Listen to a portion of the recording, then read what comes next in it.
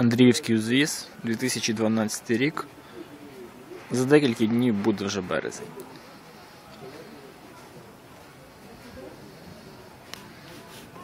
Це просто якийсь жах.